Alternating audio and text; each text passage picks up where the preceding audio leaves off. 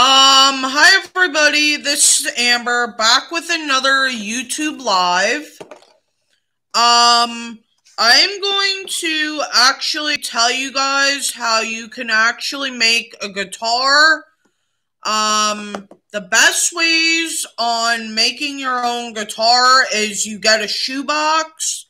If you guys have like shoeboxes laying around, um, you get all you need for a guitar, you need a shoebox and you cut and you cut a hole in the middle and basically you need rubber bands.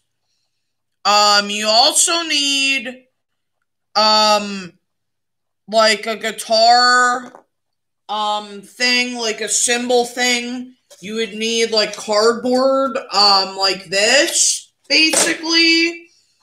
And stuff like that and you would also need um rubber bands um basically all you need is a shoebox a bunch of rubber bands um and basically you need to have like um one of these um lying around one of these things lying around for your um guitar and another thing that you would probably need is like a cymbal thing.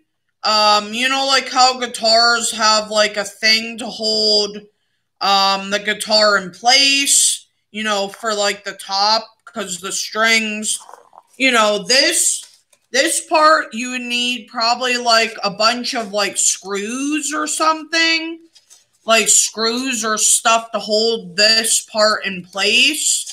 And also the bottom you would need something to hold in place as well.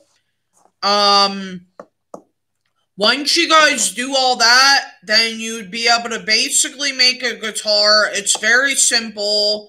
Um, I watched tutorials on how to make a guitar shoebox, so I hope that helped you guys out a little bit. Um, also, guys, if you want to make a drum, basically you get a jar like this, or you get like a can, and you basically put rubber bands around it. Um, you basically get a jar or something like that.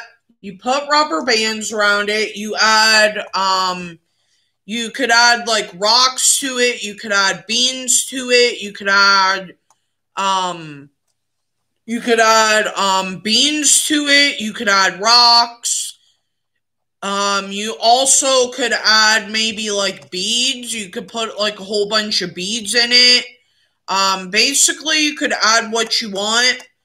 And then that's pretty and then you get like a balloon um, and then you put like a balloon on the top, and basically that's all you do to make a drum. It's pretty simple. And then you also get maybe like a pencil, um, like this size, like a pencil, or like wooden sticks or whatever. And then basically you have yourself a drum. Very simple. So I hope I helped you guys out a little bit. And have a good rest of your Sunday night and have a good rest of your Monday and peace and deuces.